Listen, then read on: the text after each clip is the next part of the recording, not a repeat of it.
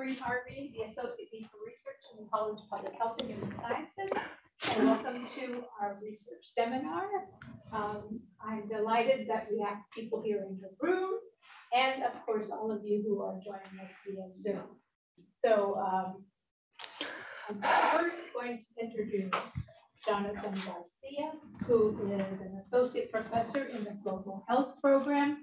Please note that the Global Health Program is co-sponsoring this seminar. So um, we're delighted that Jonathan is here to actually introduce our speaker and to uh, facilitate this seminar. And he'll tell you a bit more about what you should do if you're coming in via Zoom to ask questions. You got it? I got it. Yeah. Okay, so uh, let me introduce Jonathan. Please welcome him. Jonathan. Yes. Um, everyone. Um, welcome to those who are joining us in person and via Zoom. Uh, welcome to our research seminar. Um, just to remind you, for those of you on Zoom, um, you will be muted for security purposes. We're doing this through a, webin a webinar and not just a regular Zoom. Uh, to ask questions on Zoom, use the Q&A function. Um, and so we'll be moderating that and I'll be um, asking the speaker your questions. So definitely participate through that. Um, and so um, it is my pleasure to introduce Dr. Ricardo Contreras. He is the Executive Director of Casa Latinos Unidos um, here in Benton County and an adjunct professor at Oregon State University as well as Pacific University. He holds a PhD in applied anthropology from the University of South Florida. His career has been at the intersection of applied research, activism, and teaching on topics related to Latino and Latinx communities in the United States and communities in Mexico and Guatemala. I've also had the pleasure of working with Dr. Contreras in various projects, so we run into each other a lot uh, in partnership with the Youth and Young Adults Corps um, at the Hallie Ford Center. He's leading a project to train high school youth in participatory action research, so we're really excited uh, to help and, and collaborate on that project. He's also a member of our guiding team um, for our Transforming Academia for Equity initiative in the college, providing expertise about how to amplify the impact of our work within our institution and across Oregon. And so uh, today, Dr. Contreras is going to be presenting on his work uh, about how community organizations are creating and driving um, impact uh, and making changes to bureaucratic structures. And so, Ricardo, I give it to you. Thank you so much for joining us. Thank you, Jonathan. Thank you, Marie, for the invitation. And everybody here and everybody uh, who is somewhere around the world. So um, I gave this title to the presentation uh, maybe a week and a half ago, uh, but as it's sometimes uh, uh, common, uh, the title changes as you get closer to the, but I think that is still valid to a, a large degree. So what, what will I do? Uh, I wanted to use this as an opportunity for reflection because I've learned through the years that when I make presentations, I, uh, I, I, kind of think new things that I hadn't thought before. Uh, uh, uh and rather than prescriptions of, what I think should is right or wrong. It's just uh, reflections that are now in process going on with me. And this is a good opportunity to uh, make them explicit and, and perhaps get feedback from you, but also get feedback from myself. I give feedback to myself when I, when I talk in this, uh, in this types of context. So it's really reflections about, uh, let me see, uh, I, I, direct a community-based organization. So a community-based organization because it's driven uh, by, by, by residents to some degree, community residents. But there is always a challenge, right? When organizations become more uh, complex, more specialized, uh, they increase uh, their budgets, there is always a, a, challenge or a risk of becoming bureaucratic entities that distance themselves from the community. So the reflections have to do with that, right? How do we do to, to stay true to the idea that we are a community-based organization? And I, I, I think that um, uh, the centerpiece of that is the notion of, of participation, right? So uh, I'm going to be reflecting about uh, that, what I just said, and also approach to community-based interventions that, that, that, that articulate uh, in uh, uh, program development and evaluation strategies with the common purpose of strengthening organizations. Um, and uh, as I said, these reflections happen within a context of what I am doing now, which is directing this community-based organization that is called Casa Latinos Unidos uh, here in Corvallis. So first of all, how do we define a community-based organization? Here I did something that uh, many people do, that is go to Google and type down community-based organizations. But I found this, this definition very nice uh, different from others that I found. And this is by the National Community-Based Organization Network. Uh, and I found it, uh, which is by uh, the, uh, um, um, the, the, American Public Health Association. And uh, I found this on a website of, of University of Michigan Public Health. Uh, it's an organization that is driven by community residents in all aspects of its existence. Uh, the majority of the governing body and staff consists of local residents. The main operating offices are in the community uh, priority issue areas are identified and defined by residents. Solutions to address priority issues are developed with residents, and program design, implementation, and evaluation components have residents in, in, intimately involved in leadership positions. Okay. So this is this is a definition of community-based organization that I think is very is very good. Okay, because it really has to do with power, right? Who drives the initiative? Who drives the organization? Now, our organization does not necessarily comply with all of this, right? But it's a work in progress. Um, now, what is Casa Latinos Unidos? Casa Latinos Unidos is an organization that was founded in 2009 uh, here in, in, in Corvallis by a group of uh, residents uh, led by a professor from OSU at the time, uh, Dr. Erlinda Gonzales Berry, who uh, was at ethnic studies and I believe that she was at the time the chair of ethnic studies, or around that time she became the chair, but now she is retired professor from OSU. Um, the, the, the, mission of the organization uh, is to strengthen the community from within.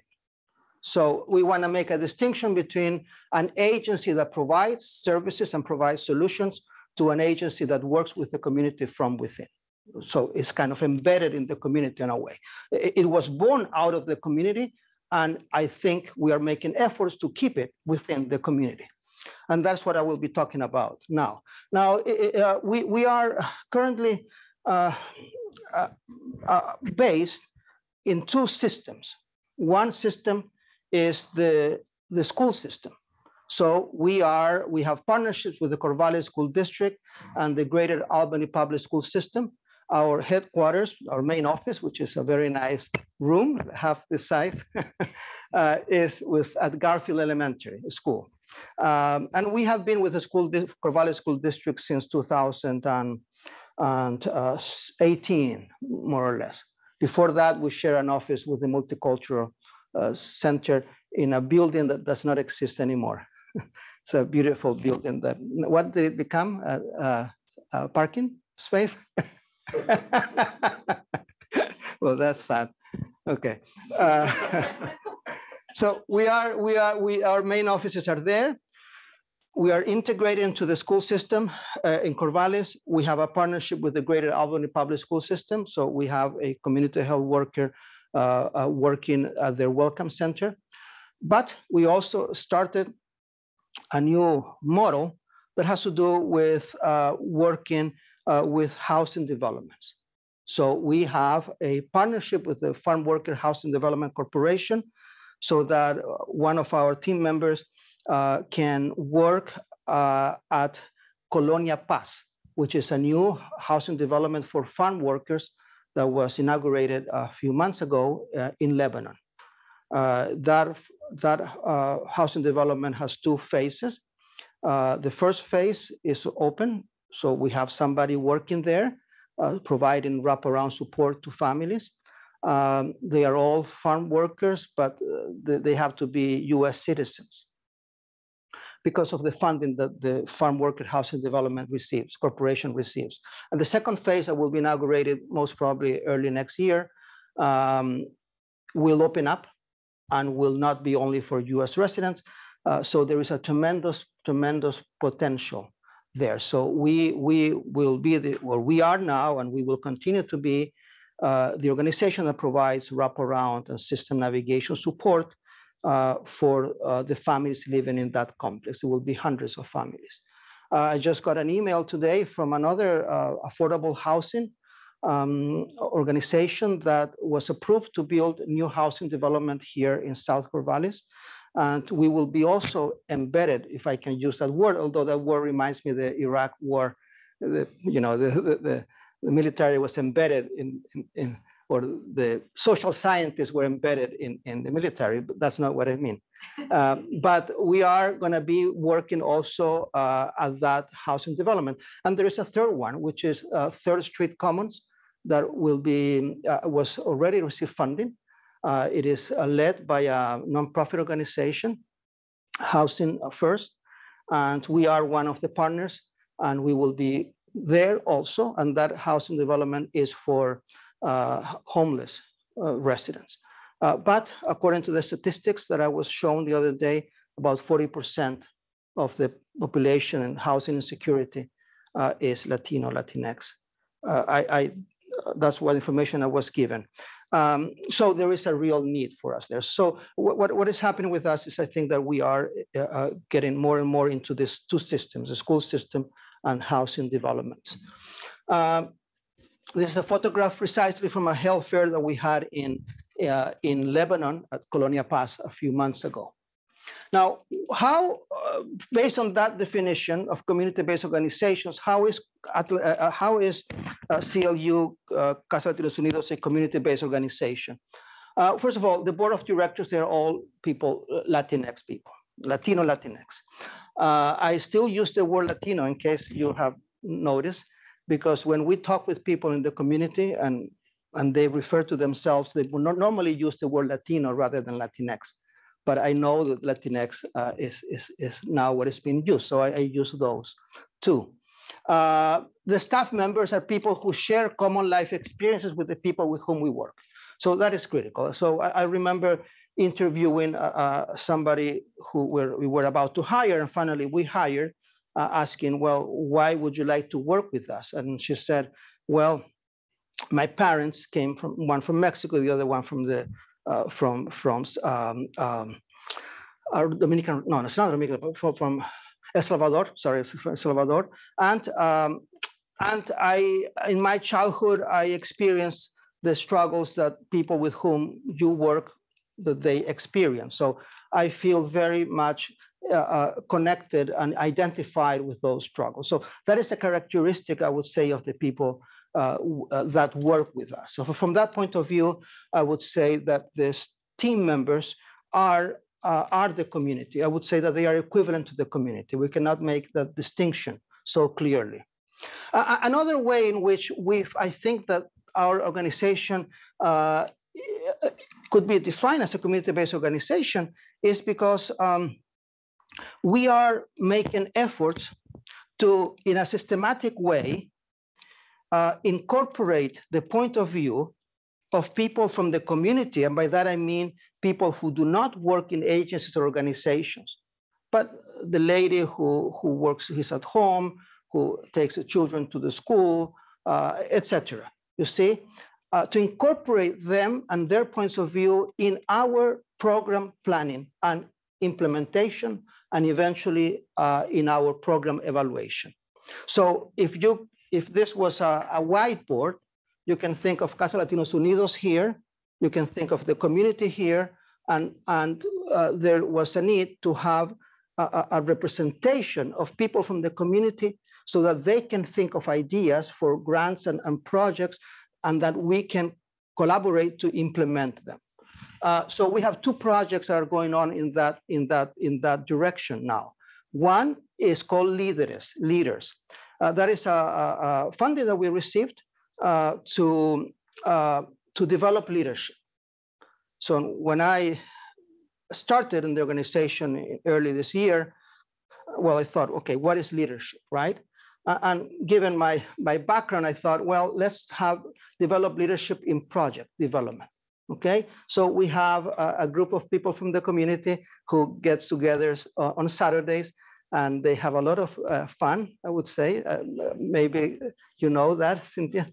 And, um, and they think about their communities, they reflect upon their, their, their communities level uh, here, Corvallis and, and Albany, uh, and they identify problems and they think about uh, what to do. So we are now at this process uh, tomorrow, uh, um, uh, building a logic model together of a project that they thought, which is a project that has to do uh, with parks. How do we make parks safer? And that project, of course, uh, came out of their own identification of safety in the parks as, as a problem. And the second project that I think that keeps us connected to the community rooted is one that uh, Jonathan made mention, uh, that is Jóvenes en Acción, Youth in Action. It's a, it's a grant by OHA, OHA Youth Advisory Council. And we are working with uh, SAFE, which is uh, students uh, uh, advocating for equity, a group of students at, um, at the Corvallis School District. Uh, and we are engaging with them in a process of um, researching uh, their communities, identifying needs, and uh, making plans for action, for change. Uh, so that project is very, very interesting. Both of them, uh, leaders and youth in action, they, they connect. Uh, they are part of the same approach of encouraging and, um, and uh, uh, let's say, encouraging and, and developing uh, uh, participation from the grassroots in, the, in, in pro program planning and, and, program planning and implementation and hopefully evaluation. Um, okay, so I've been thinking a lot about what is the community with which we work, right? And, you know, in the 80s and 90s, was this idea of comprehensive community initiatives, but mostly in urban settings in Chicago and so on. Uh, but but uh, uh, uh, uh, initiatives that address the, the, community in a comprehensive way, in a holistic way. So how do we define this community? I would say that the social determinants of health could help us come up with a comprehensive view of, of the community. so following the you know, the social determinants of health, economic foundations, we have issues that have to do with employment and income. So we have a rent assistance program uh, that reminds us every day uh, how vulnerable is are the jobs of people in the Latino Latinx community. Uh, people who perhaps get sick one day, and as a result of that, they lose their jobs. Right? It's not it's not like like other people uh, like me, for example. If I get uh, sick, I, I I think that the board of directors would allow me to get sick and keep my job. But there are other circumstances, other people that, that do not have that. So we are reminded every day when we receive a request for rental assistance about that vulnerability. Um, there are vulnerabilities related to the built environment, housing, transportation, parks.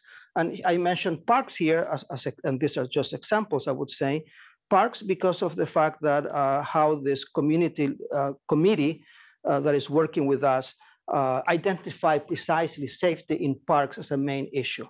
And one of the ladies in the committee also thought talked about how is it that walking her street at night that does not have lights, public lights, it, how how how unsafe she feels. And we are reminded every day when we have events how people do not have transportation to go to the events.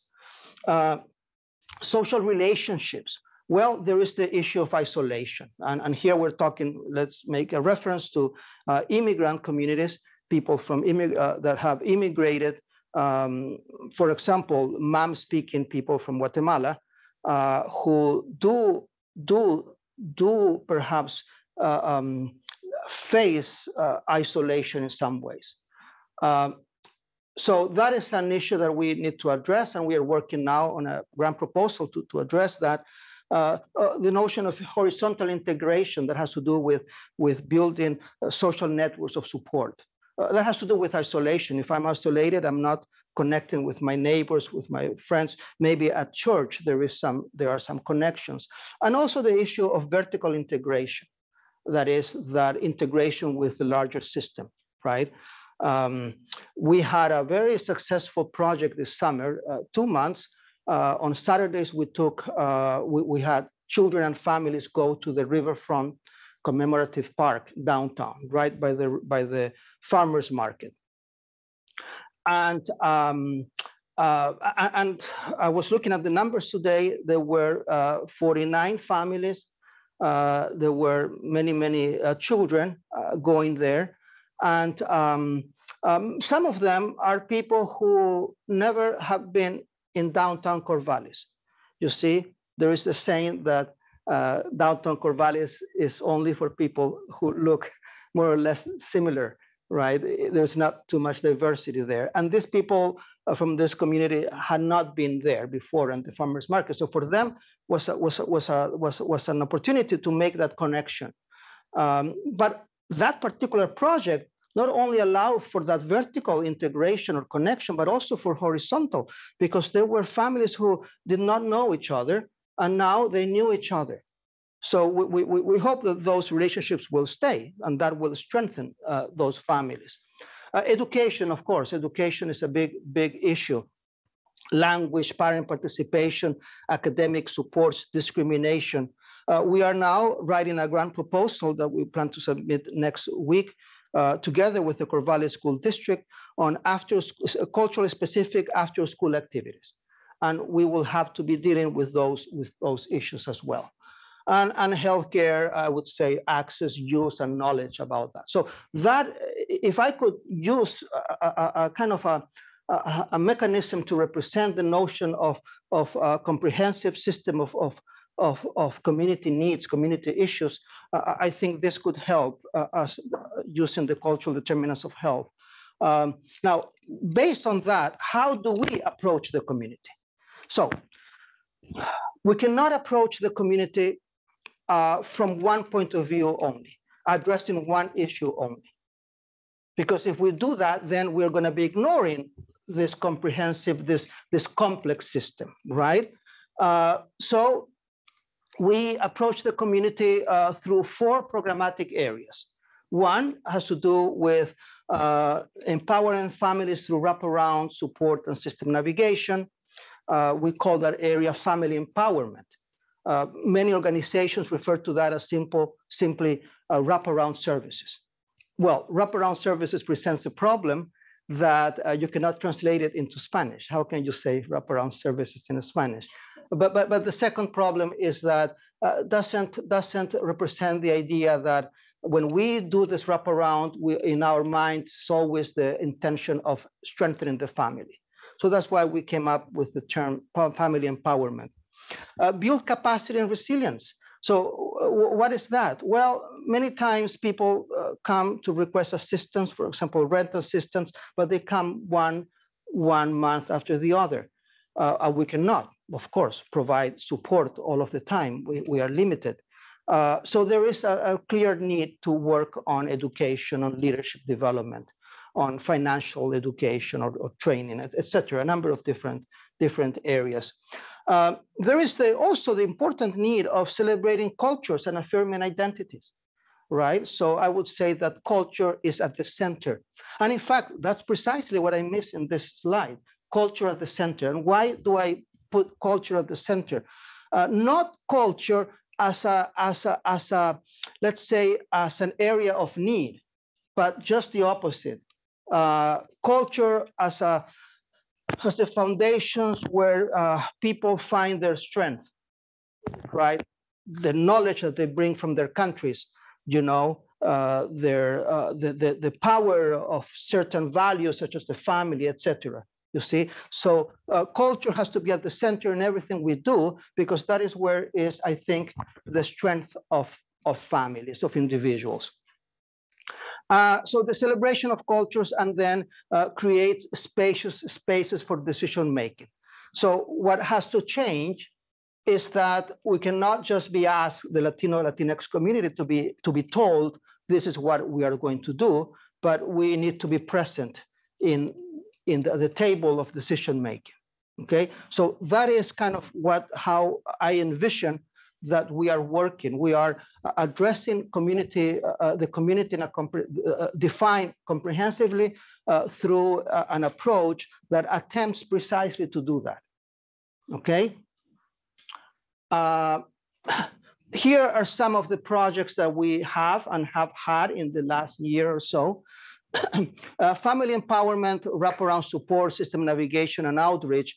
Uh, here we have funding from uh, Oregon Health Authority to work with uh, families affected with OH with COVID-19. Um, but we also have uh, financial sources from donations mostly that allow us to support families that um, do not have COVID-19. Now, the notion of systems and navigation is critical, right? And what is that?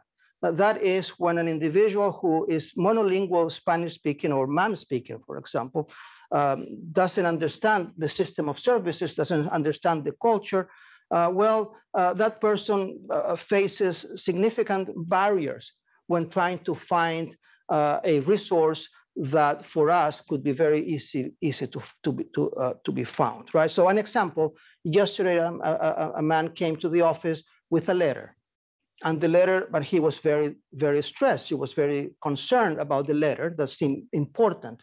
But the letter said no action required in big big letters. So there was nothing to worry about. But he was extremely worried you see? And that role of us supporting those individuals is critical. But in that case, we cannot stay just with translating the letter, but we need to make an, an effort to build capacity in that individual to eventually be able to read that letter.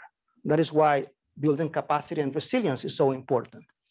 Uh, we, we, we started uh, uh, this year this building capacity and resilience uh, uh, programmatic area, uh, and this is a photograph of our uh, program this summer in the in the Corvallis downtown park. Uh, we have had financial education, nutrition education, the Youth Participatory Action Research Project, leadership development, mentorship projects in partnership with uh, the Mid Valley uh, uh, STEM CTE Hub at the Linn Benton Community College, partnership with the Greater Public uh, Albany Public Schools system. Uh, and that mentorship project is very interesting because we identify uh, people uh, in the community, Latinx people, who can be mentors of first generation students who come to college, to OSU and to LBCC. Uh, workforce development. We, we just started a project called Why Can, Youth Can, uh, which we have to recruit 10 individuals from the Latinx community, youth, um, to participate in a paid train and work experience program.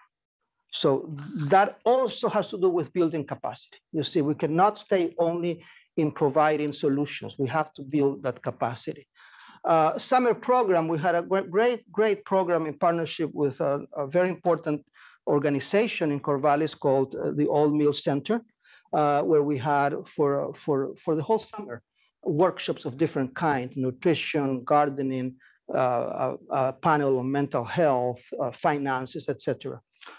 Uh, music, art, dance, and it was very, very, very, very nice. Uh, and we are starting now a, a, program on art and music for personal development, really for trauma. it's called um, uh, Emergency Pedagogy, Pedagogía de Emergencia. Uh, it's a methodology uh, that was developed. I don't know if you know the Waldorf educational system. Uh, it was developed by uh, Waldorf educators, and it has to do with uh, working with people who have going through some kind of trauma through art and music. Uh, and the, the, assumption is that many of the people who have immigrated, they do come with that trauma. and I know that because we have talked with people. people uh, MAM speakers who um, who have been detained in the in the border, and then finally they came, but maybe their families are separated and so on. There, there is a, you know, I like to say that we see what is on the table, but there is much more under the table, uh, and that is what we try to to, to address. Uh, culture, we just had an event at uh, the, and a new partnership with the Corvallis Museum, uh, where we had a panel to present a collection of oral histories that we made. Um, uh, we also will be getting uh, a grant from uh, the Benton Cultural Coalition to train people in the Latinx community as museum guides. That project will have will have a role to play in that vertical integration, you know, connecting uh, the Latinx community with such such an important institution as a city museum. Dia de los Muertos, uh, staff members working on that now, uh, and performance is a different event. And equity and system reform really has to do mostly with my work, uh, participating in multiple policy committees and boards, trying to create spaces for for for uh, for uh, for the participation of Latino Latinx people in decision making. Okay, so how do we ensure to remain an organization driven by the community? That is a community-based organization. If we think of the staff and the community as equivalent, because the team members are from the community, we cannot make that distinction. If we think about them of the two as equivalent, uh, then participation is, is, is at the core, right? And participation, I would say, in three dimensions, program planning, implementation, and evaluation.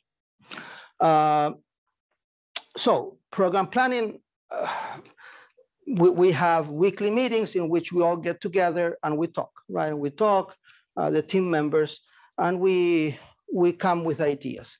Many times I bring ideas from the meetings that I've been having with partners, uh, but many times team members come with ideas with meetings that they have had with other partners, right? So, so that process is very interesting. Uh, uh, ideas are coming through this collaboration, these conversations uh, in in uh, in the team, right? In in the if you, I don't like the word staff, but in in the team uh, where where we work. But then uh, the community are staff is the community, but the community is more than the staff, right? And we also have to find ways of of involving the community, uh, not involving, as you would say, uh, you please collect data, but, but involving in decision making, right? Uh, and that is in program planning, implementation, and evaluation. And uh, program planning, uh, the two projects that I mentioned, leaders or leaders, where a community of people come together on Saturdays to think about their communities and of solutions. And the other project, the Youth Participatory Research Project, both of them are mechanisms to involve the community in program planning. Okay, uh, program implementation evaluation, that's something we have to work more on. Uh, we need to find ways of, of, of, of, of, of incorporating the community in that as well. Uh, what are the challenges? Uh, the organization has to remain driven by the community. Okay, that is the key point. Okay, we cannot become a bureaucratic organization that is part of an elite that may say we are community-based organization, but at the end we are not. You see, that, that is critical. It's very easy to say we're a community-based organization. Um, so keep participation at the, at the center of our practice. Uh, uh, do not over specialize. I, I, don't know what you think about this idea. Um, and I take this idea from uh, community health workers. Uh, what is the, the key characteristic of the community health worker? Uh, it is the fact that they are uh, uh, universalist. They are not specialists. Even though you may train a community health worker to do cancer prevention, for example, when the person knocks the door and goes into the house, into a house, uh, naturally the person will engage in conversations that will have to do with the family as a whole because of the fact that they are from the community, right? So we need to be and make an effort not to over specialize. I, I think to keep this this this universalistic, I would say, characteristic, uh, and to always address the community comprehensively. Now, this presents a challenge uh, for me in particular because I don't want to give the impression that we are everywhere and at the same time we are nowhere. You see, we cannot give the impression that we are doing too many things. So the key is not is not how many things we do, but the key is the integration between the different things that we do. Thinking of that integration as a way to approach the community comprehensively.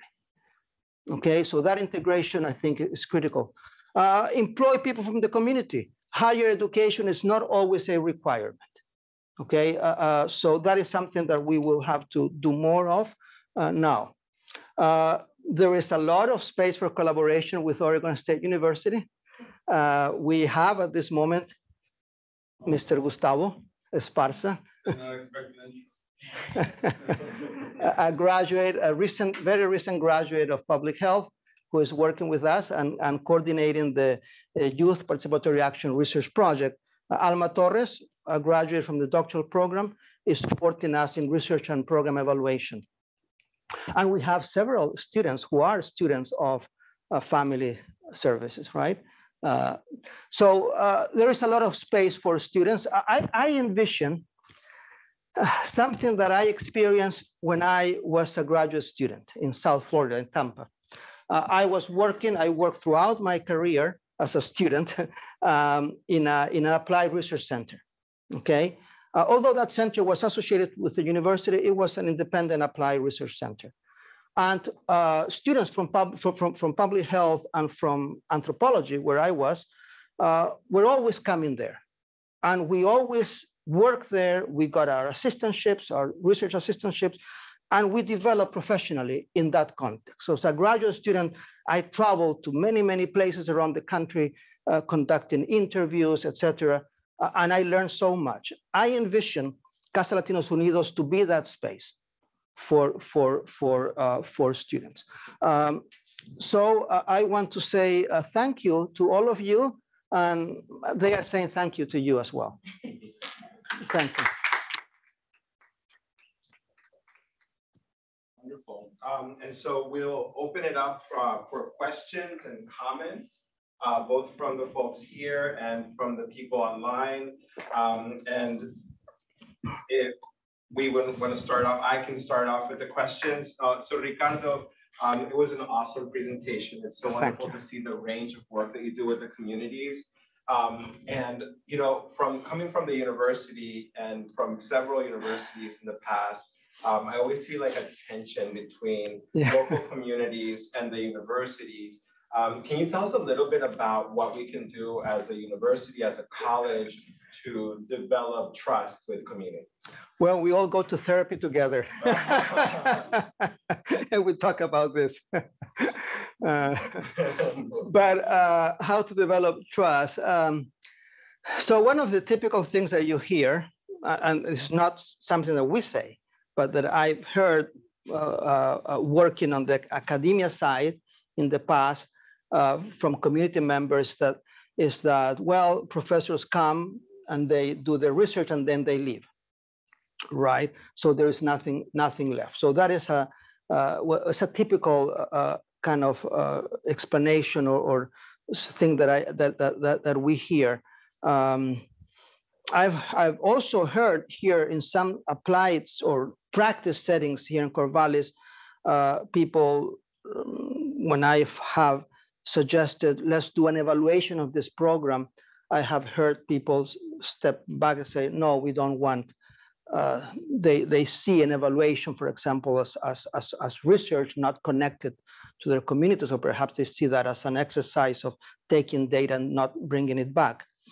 Um, so what, what I would say is that trust is built by engaging, but engaging in a way in which both players are driving the initiative, are making decisions. And the work that is done by the university has to have an application for the organization, for the community. It cannot be a theoretical exercise that the community will not see any, any results, any applications out of that. So I think that that, that, that, that engaging engaging uh, with the uh, goal of of doing something uh, uh through shared power uh, and also uh, doing things that will have a direct application. So a few years ago, when I was in the board of directors, we start of the same organization. Uh, we started a, an internship program with anthropology. We tried to start it. And the idea was that the students would come to the organization, would stand in front of the board of directors and the, and the team and the staff, and they will present their ideas. And the organization would give feedback. The student would do the work, but then at the end, the student would come back and present to the, to the board of directors and, and to the staff. So the student cannot just finish and leave, and that nothing, nothing stayed. Um, and I learned that from my own experience doing my master's in, in applied anthropology, when, when I had to precisely go back to the board of directors of an organization and, and present the findings of my study and, and ho hoping that they would do something with what I did. Now, another thing that I would say is that we should approach this as a long-term collaboration, not just specific to individual uh, individual initiatives or project, but there should be a, a, plan, there should be a vision, a long-term vision. Uh, we, we, uh, uh I, I work under the assumption that nothing can be done alone, right? So there's always a system of organizations working together. There's never, ne never nothing is done with only one organization, right? Uh, and one of those players is the university, right? So the university has to get into the circle, right, into the system uh, of collaboration uh, with the uh, with the uh, precisely with the um, working uh, principles that power will be shared, that research will have an application, and will stay in the community. And an interesting thing to consider is also is the translation of research into practice, which I think is a field in itself. So we do research, we have the results, but then how do we do to translate that into practice, right? Um, formative evaluation is an example of that, right? Because we we we do evaluation research, but the findings of that are always are always integrated into practice right? But it's not just a matter of saying integrate that into practice. Uh, I think that there is a need for methodologies that allow for that integration, right? So that is, it's in itself is an interesting area of work, I would say. Any other questions from those here, or we don't have any online right now, but any questions from those here? Stephanie. Stephanie. Um, thank you so much for all of this. It was great to learn more about what um, what your organization has been up to.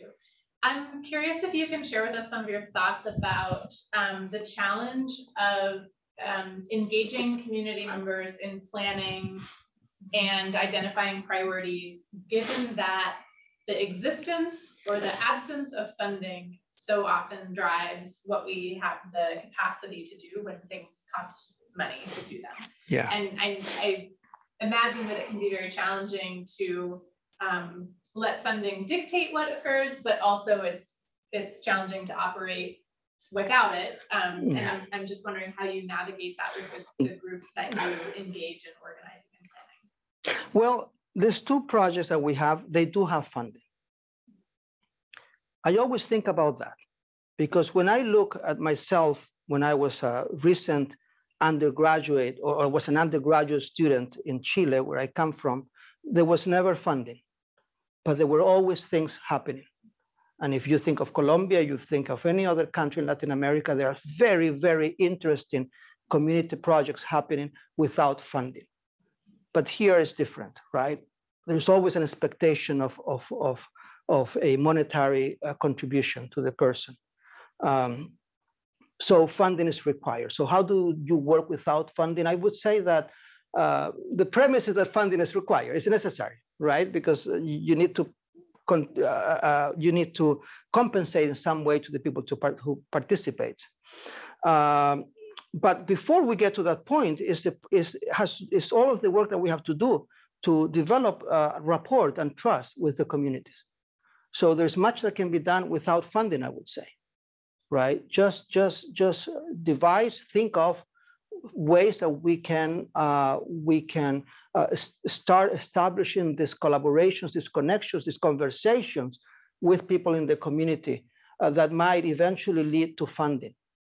There is one, one problem that we are dealing with now at this moment, okay, that has to do with money. Um, so we had this very nice uh, project in, in, in the park, and we inserted money into the equation in two ways. One way is we, since it was about teaching children about finances, each, each Saturday we gave them $5 in the form of farmers market coins that they would use to buy things, but then they would save. And at the end of the, of the month, two months, the coordinator would give the, each child what the money that they saved. Another way in which money was, was inserted into the equation uh, was that we decided to offer them to open uh, a bank account with $50 to the children who attended uh, seven of the nine sessions. So now, this morning, in fact, I am noticing what happened with that. What happened is that there is a risk. I hope it's not the case. I don't think it's going to be the case because, uh, in fact, there is a video online that I published yesterday that shows this this this event, and and I think you will notice that that that, that, money did not play such an important role. But but what, what is happening is that um, uh, the people who were not given the fifty dollars started to complain, and the word spread. So we decided, okay, we will we will open the bank accounts to all of the children, even those those who came two sessions out of the seven that we had thought. So money was part of that. We thought that it was necessary, but maybe we have to be more careful in terms of determining well what is the role of money in a community development uh, context. So to come back to the, the question, I would say two things. First, make efforts that do not involve funding of establishing trust, relationships, conversations. And then when you want to implement projects uh, collaboratively, there needs to be some funding because of the context where we live. But we have to be very careful with how we use that money, not to distort the essence of the, of the projects. And now I fear that maybe the essence of the project, which is establish relationships and learn about nutrition and, and, and, and, and, and finances, might have been to some degree distorted by that problem that we encounter with the $50. I know that this the answer might not be the best. Oh, no, I appreciate it. I'm sure it's very um, challenging to navigate what, you know, what a good use of money is and a, what seems like a good use and then things. yeah, it's, it's very, very challenging. But go back to see all of those very nice projects in Latin America, how they do wonderful things with very little money. And we should learn from them. And Ricardo, we have a comment here from Allison Myers. Oh, from Alison, our yeah, team. Um, so, uh, she says, Ricardo, thank you so much for being here. We are grateful to have you as a contributor to uh, Transforming Academia for Equity, to our Samaritan Partnership, and to our entire OSU and local community.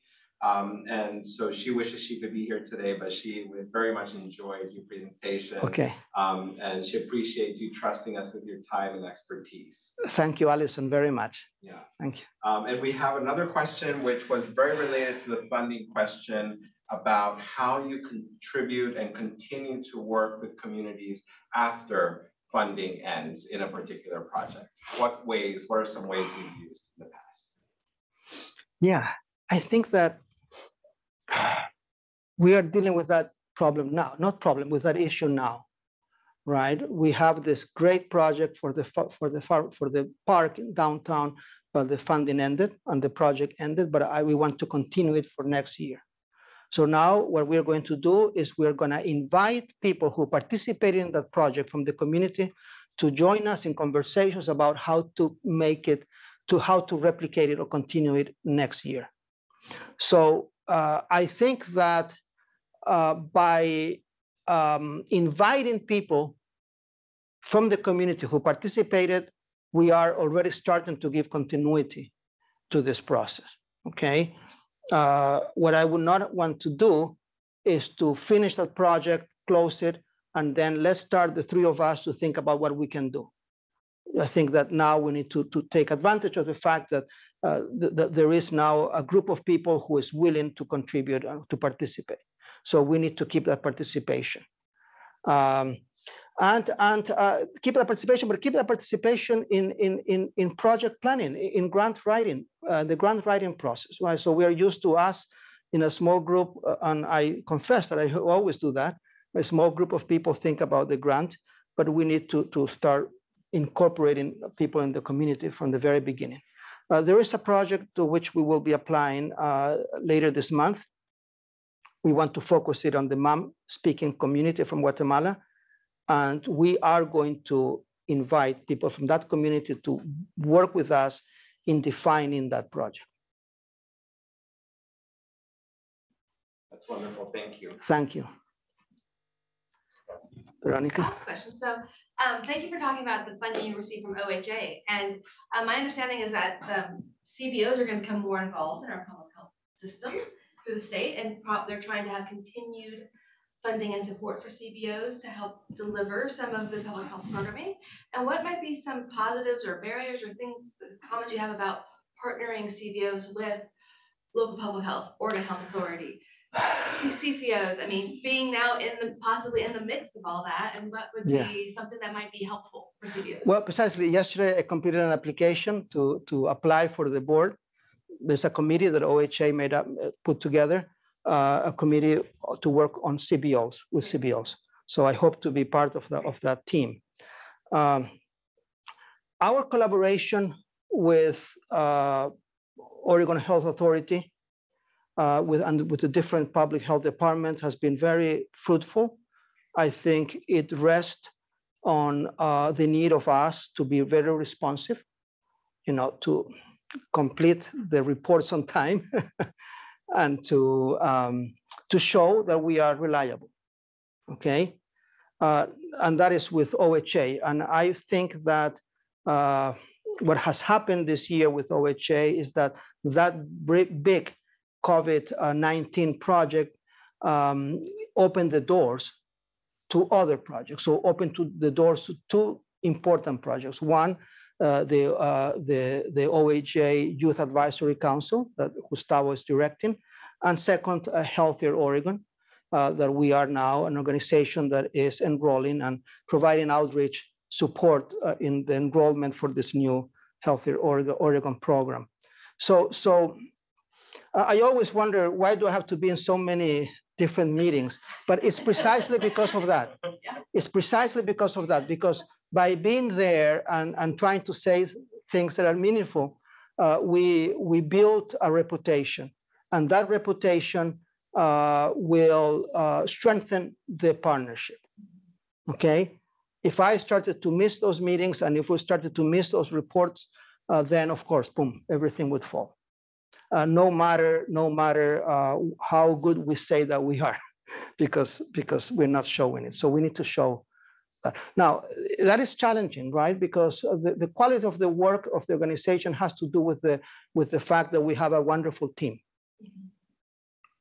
and um, the team uh, is there. But uh, I want to say something that is funny, and uh, Cynthia, don't. I think you know what I mean but uh, a, part, a, a friend of mine who is um, who is um, uh, who is the director of a non uh, nonprofit organization told me that many times uh, uh, health departments see uh, community-based organizations as places where people get trained and become good. and that is what we need to do in our organization is to improve retention so that they don't go to the departments of health Yeah. after a while. And, and that is a problem because uh, we have to, to increase retention. We need to have enough funding that allows us to, to provide uh, all of the compensation benefits that people deserve, right? And we grew very quickly. And until last year, we were very small. uh, and now we are more than that. Uh, so my per- personal now uh, focus now is to precisely build a package that would uh, allow people to stay with us and not go to the health departments. uh, yeah, yeah. Thank you. Thank you. So this is probably more of a comment, but I think I wanted to share that a long time ago when I was funded by the CDC, and I worked with communities here in Oregon and had staff from the community, a team, I like the word team, but Yeah. uh, really made this project successful. You know, without the community team members, this would not have happened. It was funded by the CDC and they had to write reports, which the staff helped. And they got excited and wanted to hear more about the project working with the communities and invited me to go speak to them in Atlanta. Oh, And I said, no, eh, eh, th- you know, no, no, no. I can't. I need to bring the team. You know, right. from the community. And so can I bring, you know, and so, but I didn't have the funding, you see, so it was good. So they said yes. So I was able to bring one member of the team, the leader, he, you know, sort of a leader. And it was, a- it was amazing. I just want to say that CDC was, I mean, he was an amazing speaker Yeah. and told it like it was. And anyway, the, the lesson learned for me was to put that in my budgets. You know, if I wanted to continue to do this work, make sure I fund um, my team who are from the communities to be able to help. Right. And so I, from then on, I did, and I, you know, I just encourage other people to think about that. But it was a really wonderful Yeah. lesson learned for me. Yeah. And I was um, delighted to have an opportunity to. to give my- A- And include them in, in decision-making roles, Oh, yeah, not just to collect data or to participate in the traditional ways that communities have been involved in, in projects, right? But really decision-making. yeah, and if they weren't part of helping with that decision. Yeah. We wouldn't have done it. That's correct. Yeah. No, Yeah. I totally. Yeah. Well. we oh, are at- Cynthia? Oh, I was Cynthia, just wanted to say comment for those on Zoom because I haven't mentioned. Um, but I, I just want to say as someone who, who now works for the health department and, um, past, um, time at ACA, Casa Latinos Unidos, is that it's so great, I'm so grateful to, um, get to witness the growth of Casa Latinos Unidos and many, um, things that people, Ricardo and the team. Thank you. Uh, and I should add that Cynthia is the one who uh, founded, created the community health worker program. When, when COVID 19 came in 2020, our organization was very small. Okay. Uh, we did not have a community health worker program. What we had are volunteers who were at the office receiving people's, who, people's calls and when people visit us asking for resources or, or things like that. Uh, but then uh, we got this funding from IHN CCO, uh, funding from OHA that allowed us to create this community health worker program. And Cynthia was the first one. And, and you created it and you established the basis for that program to be what it is now. And um, we now, in a few months ago, received funding from Benton County ARPA uh, uh, funding uh, to develop the that community health worker program beyond the uh, system navigation and wraparound and direct services towards building resilience and capacity in the community. Thinking of the uh, community health worker scope of practice from OHA, you know, trying to get to the different columns of that model. Uh, but that is possible because of the wonderful work that you did. Thank you. In the team. And the team, and the team, yes, and the team. I, I should add, emphasize, and the team, yes. Thank you.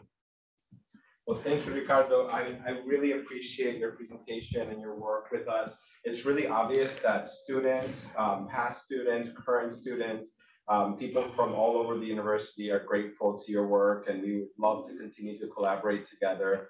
Um, thank you so much for having a, you know, your presentation here today. Thank you very much, and I really want to continue.